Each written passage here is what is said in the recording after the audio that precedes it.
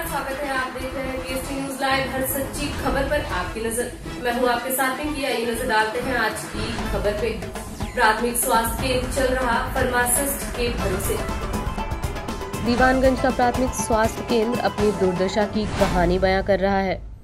दीवानगंज का यह प्राथमिक स्वास्थ्य केंद्र रहता है अक्सर बंद जिससे वहाँ के लोगों को कोई लाभ नहीं मिल पा रहा है। आपको बताते चले कि दीवानगंज का यह प्राथमिक स्वास्थ्य केंद्र चल रहा है फार्मासिस्ट के भरोसे। यहाँ पे अक्सर ताला बंद रहता है, जिसके चलते यहाँ आने वाले मरीजों को अक्सर परेशानियों का सामना करना पड़ता है।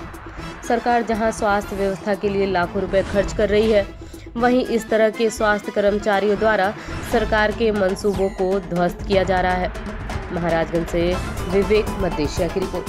ऐसी कुछ खास खबरों के लिए बने रहिए न्यूज़ लाइव के साथ। नमस्कार